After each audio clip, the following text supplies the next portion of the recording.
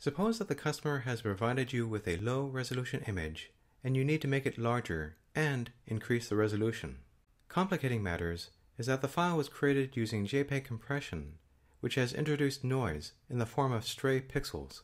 The customer does not have a higher quality image, so it is your responsibility to ensure that the larger image has acceptable quality in order to re- encourage repeat business. First, select the job file within the queue and in the Smart Bar, set the print dimensions that you need. Second, from the Jobs menu, choose Super Size Image. The dialog will prompt you to indicate the desired resolution. We see here that this image has a resolution of less than the 72 dpi that we previously stated. The current resolution is lower than 72 because we had resized the print dimensions, which essentially spreads the image pixels over a wider area. However, we are not worried about this because we specify here what the new resolution should be. The best choice of image resolution depends upon the printing method and the viewing distance. For inkjet printing, we generally set 300 as a reasonably high image resolution for this job. If the image were particularly detailed, then we might have considered a higher resolution of perhaps 600 or 1200 provided that the printer can print at that resolution. Setting an excessively high resolution is a waste of your time because the extra image data will add to the processing time yet merely be discarded by the printer. Click the thumbnail to focus on a specific area of the preview.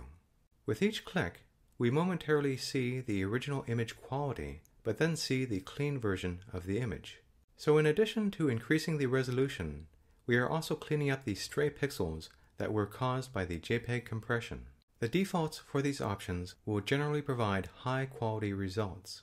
Increasing the edge sharpening slider can add extra sharpness to the edges, and decreasing the slider will introduce more of a blurred effect. The surface smoothness affects the perceived texture of the image.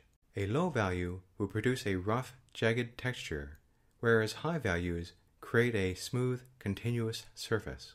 Turning on the soft option will create a gentle blurring that suggests softness within the image. For the noise that we previously mentioned, it is removed by the denoising option. The clean slider will remove stray pixels, though a high value can potentially remove image details. The chroma slider will adjust the amount of color saturation. The vibrant surface tweak option requires a bit of explanation. When noise and stray pixels are cleaned from an image, this can cause loss of minute details and contours that would otherwise add depth to the image. Where pixels have been cleaned, there is a subtle smoothing, as if a blur filter had been applied.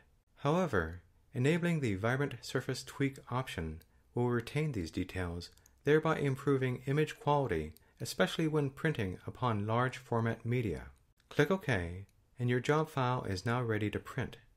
The preview will update after a few seconds.